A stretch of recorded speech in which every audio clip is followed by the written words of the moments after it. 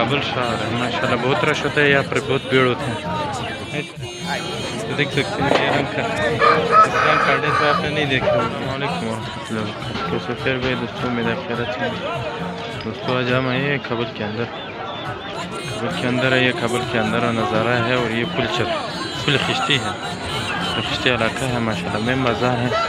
آج ہم آپ کو دکھائیں گے ایک اور چیز۔ جو کہتے ہیں انڈے۔ ایسے دیکھو، میں نے ابھی تک تو نہیں دیکھا۔ ہوا یہ دیکھ سکتے ہو ماشاء اللہ یہ پل خشتی کا ہے۔ دیکھ سکتے ہیں یہ رنگ کا اس رنگ کا انڈے تو آپ نے نہیں دیکھا ہوگا۔ ماشاء اللہ دادا، چیز آ گئی تھی ماشاء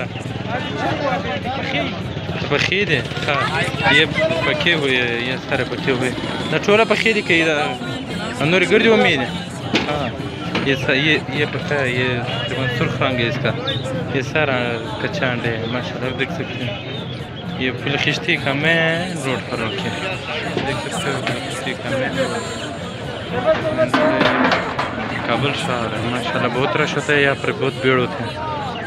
ایسا ایک نہیں ہے، ایک سدو ہے۔ بھی دیکھ سکتے ہو، یہ انڈے بھی دیکھ سکتے ہو۔ یہ سارا ایسا ہی ہے۔ تو یہ مین پل خشتے روڈ ہے ابھی تو دکانیں بند ہو چکے ہیں۔ بعد میں یہ کھلے گا۔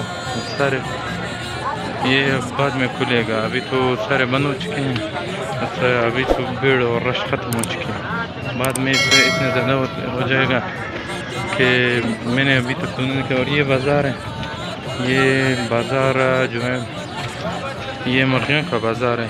جو چھوٹے چھوٹے مرغی بھی ہوتے ہیں پرندے ہوتے ہیں، سارے پرندے ہوتے ہیں اور مرغیوں کا بھی بازار ہے۔ میں میں بازار خوبصورت آوازوں والا جو چڑیا ہے کیا بولتے ہیں، اس کا ہم آواز نہیں اس کا نام نہیں آتے۔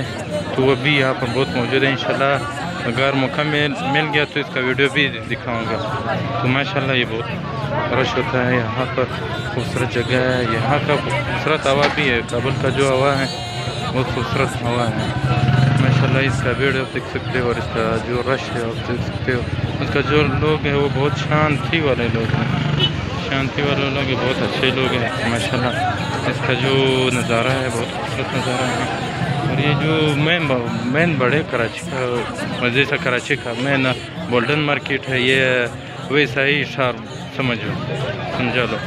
کیونکہ یہ بہت یہاں پر ہول سیلر بھی ملتے ہیں سارے چیزوں کے ہول سیلر بھی ملتے ہیں۔ ماشاءاللہ، ایسا بہت خوبصورت جگہ ہے۔